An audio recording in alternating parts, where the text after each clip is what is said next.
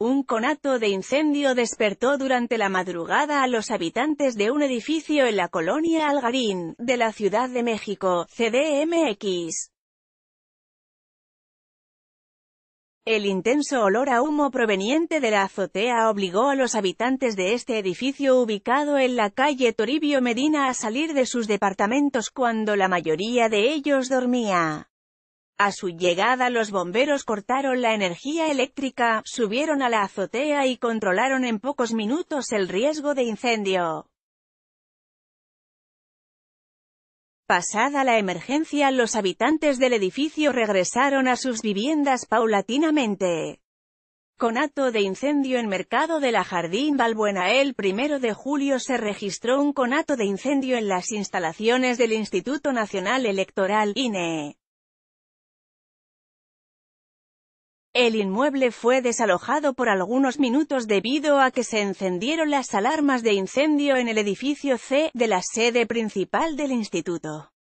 Personal de protección civil fue el encargado de controlar el pequeño incendio que se registró en la explanada del INE, donde se encuentran unos estanques de los medios de comunicación. De acuerdo con las autoridades, el pequeño incendio se debió a una sobrecarga de voltaje debido a que hay muchos aparatos electrónicos conectados. El 19 de julio se reportó un conato de incendio en una vecindad de la colonia agrícola oriental, de la Ciudad de México.